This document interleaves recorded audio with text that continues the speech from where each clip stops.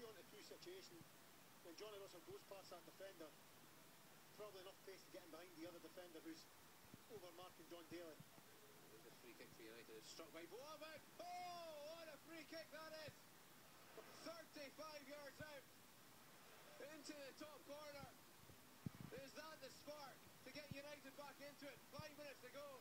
United one. St Mirren two. Pick that one out and immediately I noticed that Peter Houston has